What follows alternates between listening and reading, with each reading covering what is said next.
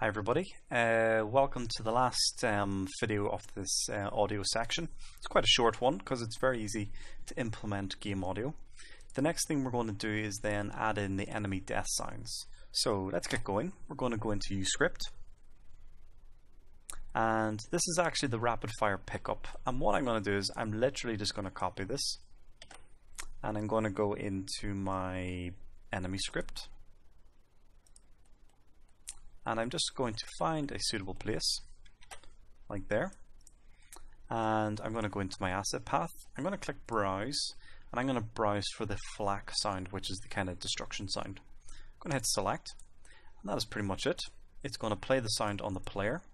Um, we could set this up as um, target itself although because the sound is actually being destroyed uh, let's give it a go. Let's go variables owner game object and hit target and file save. Typically I would play all my sounds on the player, but I guess for added realism we could have the death sounds play wherever the enemy was. So I'm just going to delete this and I'm going to add in an, oh, I'm just going to hit play. And I'll find an enemy the old traditional way.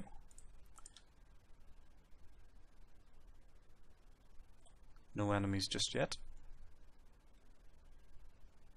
Okay, here we go.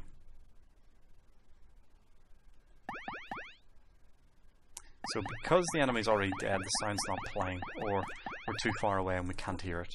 So really the, the easier way of doing this um, is to change our target to player instead. I'm just going to drag my player in again as a game object and link that up. I'm going to copy this going to hit File and Save. And then we're just going to replicate um, straight over to our boss. So I'm going to go to Boss. And I'm just going to find some empty space and hit Paste. So on Graph Enable it's loading in the, the flak sound. And then whenever the graph's destroyed it's going to play the sound on our player. To kind of indicate that you have killed an enemy.